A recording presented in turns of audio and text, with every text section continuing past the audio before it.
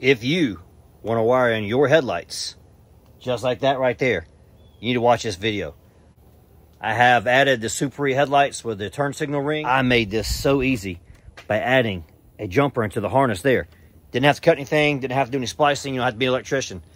Quadratec makes this really easy, and you got to watch this video and see how I did this. Absolute game changer on installing headlights with a halo ring. Hope you enjoy this. We are back for a part two. We're going to finish up the headlight wiring that I got these headlights from Super E. As promised, I didn't show the wiring too much in the video because I didn't have a key critical component yet. This is going to make this job way easier. And all you had to do was go to Quadratec and pick up this. This is what you're going to get for Quadratec. Comes with the directions here. Tell you everything you need to do. This is the secret. This plugs in to your driver's side light harness and it splits out the two wires you need to run your daytime running light. You use this connection here to plug into here and look, these are fused. So good proper wiring is the best way to go. I looked at several different ways of doing this and for me, seeing this kit right here on Quadratec, this is the way to do it. I've used Quadratec wiring harness adapters before, so I'm going back with them. I know they work good. You do not, however, have to do it this way. So there's a couple options for wiring your DRLs. If you just want to splice your wires, they're right here behind this light. I just spent five minutes searching. If you're going to use this connector, the connection is actually right under right here. So you ain't got to rip all this out if you want to get the connection. If you want to hook it up right there, just rip this side of your inner fender out. If you want to hook up to the lights, pull this side out. I, however, did not know this, so I have completely displaced everything all the way up to this rivet right here. And just right there, there's your connection right there. That's the connection you got to take loose. So backing back out, that's where it is. It is right here.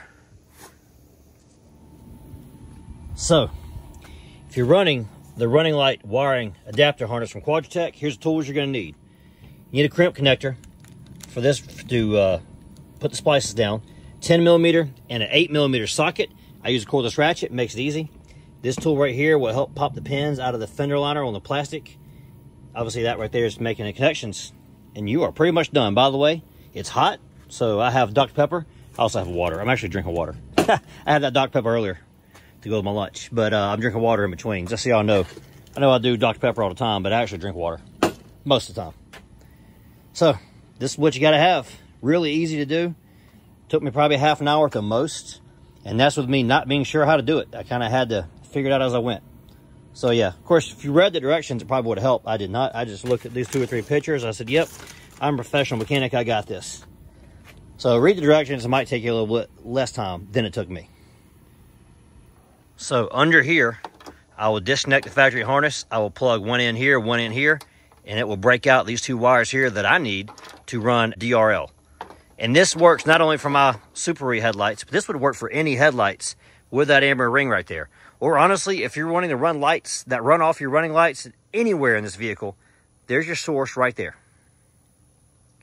This is a very easy, simple thing to do that just gives you options. I love options. If your Jeep didn't come with a factory auxiliary switches like mine did, I did not. Mine obviously did not come with the factory auxiliary switches. I've had to add wiring to this vehicle.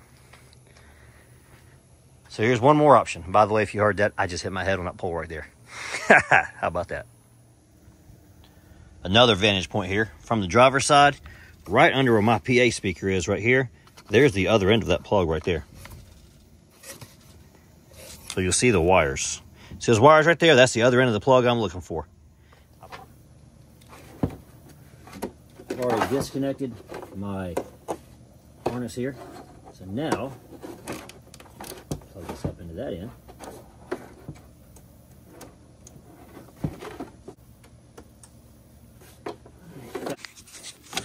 Take you off the tripods.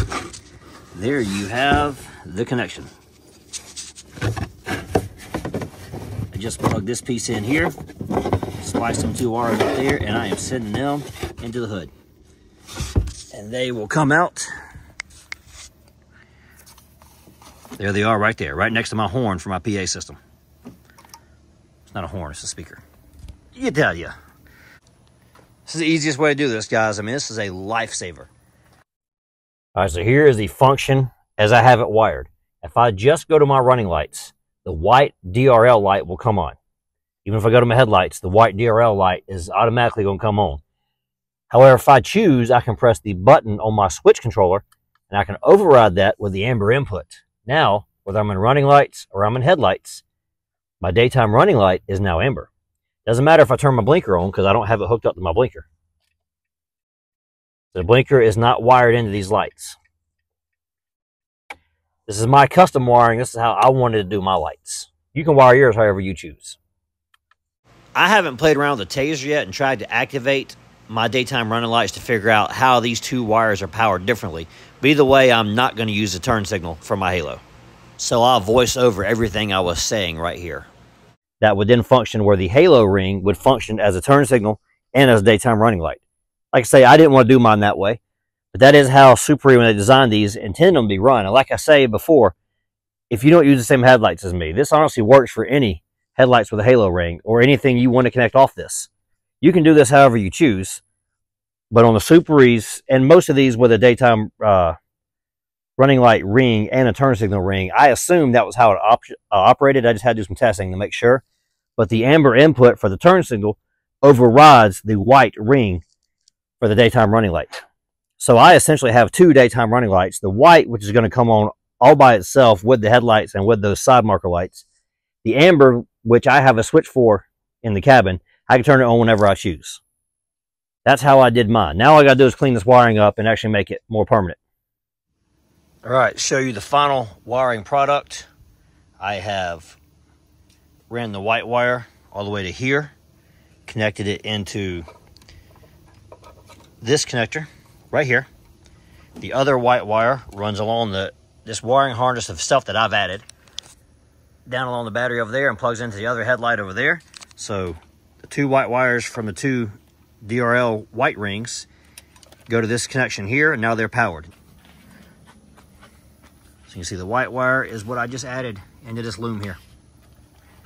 I gotta go back and replace these plastic looms because I've kind of outgrown them all. I Need to add a bigger one now. But anyways, that's where you got, guys. Like I say, this will work with any halo ring you got with two wire inputs. This Quadratec piece really changes this game, makes this such an easy process and customizable. Now I don't have to splice into a factory harness to do this stuff. I can just plug and play, change as I choose. Everything is weather tight, everything is sealed. You see the fender liners back together. Whatever way you want to do this, it's all up to you. You're more, like I said, more than welcome to wire into the factory harness there. If you're like me and you worry about water crossings, I didn't want to do it. So the Quadratec piece, man, what a difference this makes.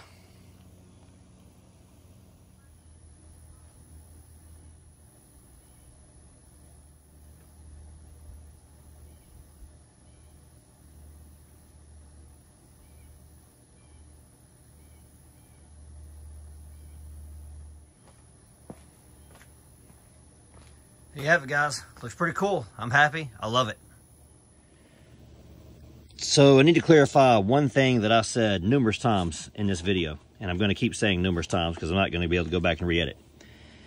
These two functions right here for these plugs, it is not that one is daytime running lights and one is the blinker.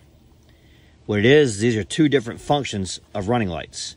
So the idea behind these from Quadratec is that you can run light bars off of them, you can run daytime running lights off of them, whatever you want to run, but it gives you two different functions for how your lights are powered with your 12 volt power source. Neither one of them is a blinker, by the way. So if you want to run this yellow wire to a blinker, you're still going to have to come in here, tap into the wire from the blinker here, which I showed you either earlier or later in the video, depending on where I put this clip. I'm actually doing this clip the next day because I'm editing the video and realize I messed up.